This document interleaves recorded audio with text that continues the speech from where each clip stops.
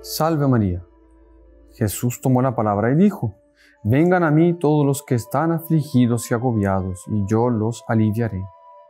Carguen sobre ustedes mi yugo y aprendan de mí, porque soy manso y humilde de corazón. ¿Por qué ese yugo de nuestro Señor es leve y por qué su carga es ligera? Bueno, muy simple, porque no hay nada más perfecto para el hombre y nada descansa más al hombre que tener su corazón puesto en Dios. Por eso nuestro Señor dice, venid a mí los que estáis cansados y agobiados.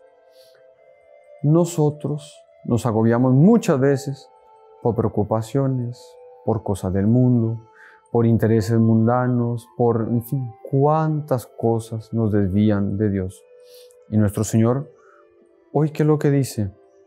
Que descansemos en Él, que tengamos fe en Él, que delante de cualquier situación, delante de cualquier problema, delante de cualquier cosa buena que nos pase, tener nuestro corazón anclado en Él. Es el mayor descanso. ¿Por qué?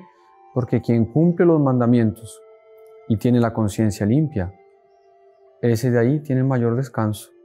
Bien decía nuestro fundador que la mejor almohada es una conciencia limpia.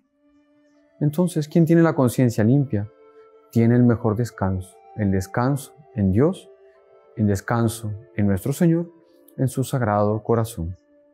Vamos a pedir hoy a María Santísima que ella nos conceda esa rectitud, ese deseo de vivir en paz con Dios y hallaremos descanso para nuestras almas.